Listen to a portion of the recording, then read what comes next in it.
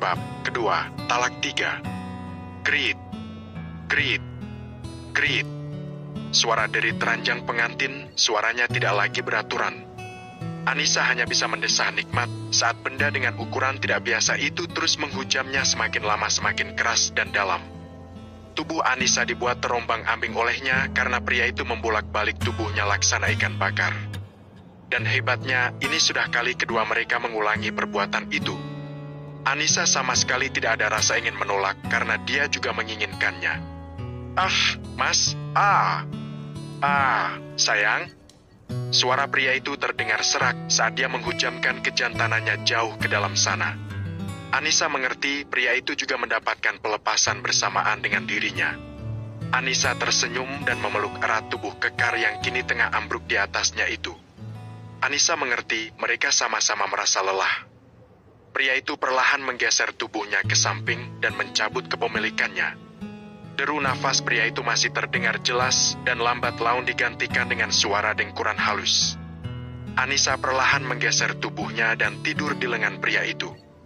Anissa juga menarik selimut untuk menutupi tubuh telanjangnya bersama pria itu. Tidak berapa lama kemudian Anissa pun ikut terlelap.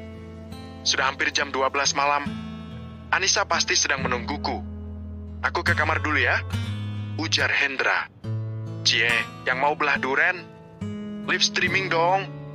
Ledek Sandy. Buka. Hendra memukul pelan bahu sahabatnya itu. Kalian tidurlah. Kamar tamu ada di bawah. Ujar Hendra. Mau ikut ke kamarmu boleh? Candariku. Enak aja. Jawab Hendra sembari beranjak pergi. Ruang tengah tampak begitu sepi, semua keluarga Hendra sudah tertidur begitu juga dengan keluarga Anissa. Hendra tersenyum saat dirinya perlahan menaiki anak tangga satu persatu. Ceklek.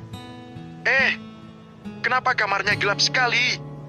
Apa Anissa malu karena memakai baju itu? Sehingga dia mematikan lampunya. Ah, aku sudah tidak sabar ingin melihatnya memakai baju itu. Dia pasti kelihatan cantik dan seksi. Hendra senyum-senyum sendiri membayangkannya. Setitit. Senyum Hendra yang semula mengembang sempurna mendadak lenyap saat melihat Anissa tengah tidur di pelukan pria lain. Tubuh pria itu gemetar karena merasa tidak percaya dengan apa yang dia lihat. Meski dia minim pengalaman dalam urusan ranjang, tapi dia tidak bodoh untuk mengerti segalanya. Dia tahu betul apa yang sudah terjadi saat ini. Pakaian yang berserakan, tubuh Anissa dan pria asing yang telanjang, Hendra bisa mengerti kalau istri yang dia cintai sudah ditiduri oleh pria lain. Ledakan amarah yang bersarang di dada Hendra saat ini benar-benar sudah tidak bisa dia bendung lagi. Dengan tubuh gemetar dan suara bergetar, Hendra berteriak sangat keras hingga membuat semua orang terbangun dari tidurnya. Anya! Hardik Hendra dengan suara menggelegar. Tentu saja suara itu mampu membuat Anissa terbangun dari tidur lelapnya. Anissa seperti orang kebingungan. Beraninya kamu di malam pertama kita tidur dengan pria lain? Gigi Hendra bergemeratup. Epi, kata-kata Anissa terhenti saat melihat seorang pria tampan tidur lelap di sampingnya. Ahi, Anissa berteriak histeris. Anissa kemudian meraih baju kaos pria yang berserakan di lantai. Baju yang hanya bisa menutupi sedikit pangkal pahanya. Anissa kemudian bergegas memakai baju gamis hitam miliknya. Anissa juga hendak mengenakan cadarnya, namun langsung ditarik dengan kasar oleh Hendra. Kamu tidak pantas mengenakan ini. Tatapan Hendra begitu membunuh. Mas, dengarkan dulu penjelasanku, aku sama sekali tidak mengenal pria ini, Mas. Ujar Anissa. Tidak mengenal? Tapi kamu sudah tidur dengannya Anissa. Ujar Hendra penuh emosi. Sungguh, Mas, Aku berani bersumpah, aku tidak tahu kenapa dia bisa ada di sini. Anissa berisak. Kamu, ada apa ini? Kenapa malam-malam malah berteriak seperti orang gila? Tanya Gondo. Ya, Hen. Malu didengar tetangga, apa malam pertama kalian mendapat masalah? Tanya Marni sembari tergagah. Gondo dan sang besan mengerutkan dahinya saat melihat pria asing di dalam kamar anak dan menantunya. Siapa dia? Tanya Guntu. Sebaiknya kalian tanyakan saja padanya.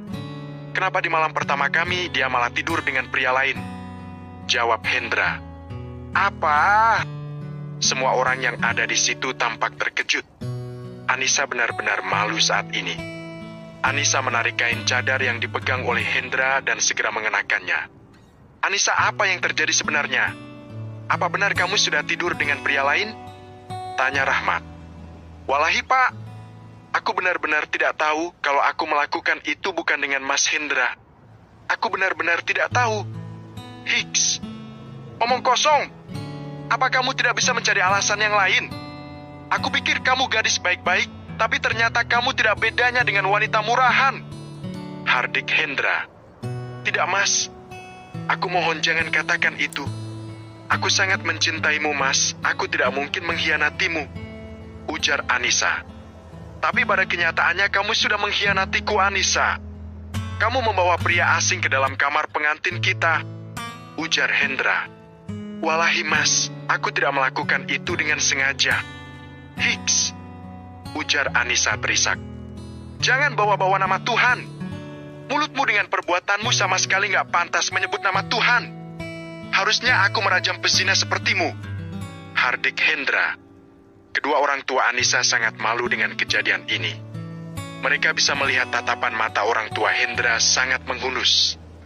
Anissa, mulai hari ini kamu bukan istriku lagi. Ucap Hendra. Mas, aku mohon jangan lakukan itu, Mas. Hicks, aku talak kamu dengan talak tiga. Cedererer. Perkataan Hendra seperti sambaran petir bagi Anissa. Tubuh wanita itu sampai merosot di lantai dengan tangis yang pecah. Besok aku akan mengurus surat perceraian kita di pengadilan. Kalian bisa tinggal di sini selama sidang berlangsung. Ujar Hendra. Mendengar itu, Anissa langsung bangkit dari lantai. Kami tidak butuh belas kasihanmu.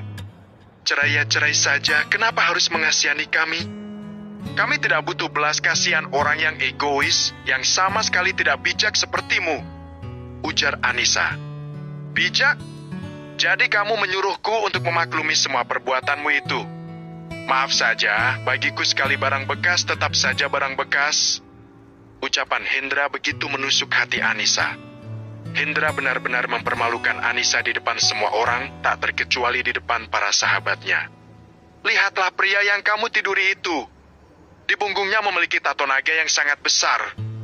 Jadi pemuda berandalan seperti dia seleramu. Kamu pasti sangat menikmati saat dia menggaulimu tadi. Hendra tersenyum penuh ejekan. Apa sudah cukup kamu menghinaku? Kamu mengerti agama, tapi kamu sangat suka membuka aib orang lain. Aku benar-benar sangat keliru pernah mencintai orang sepertimu Hendra. Ujar Anissa. Akulah yang keliru mengenali gadis sok alim sepertimu. Hardik Hendra. Baiklah anak Hendra, berikan kami waktu untuk beberes. Sudah cukup kamu menghina putriku. Meskipun dia bersalah, kamu juga tidak berhak mempermalukannya seperti ini. Bu, bereskan pakaian kita. Ujar Rahmat pada Masito istrinya. Masito keluar dari kamar itu sembari meneteskan air mata. Sementara pria bertato itu masih tampak tidur dengan damai. Tanpa mereka sadari, seseorang menyeringai penuh kemenangan.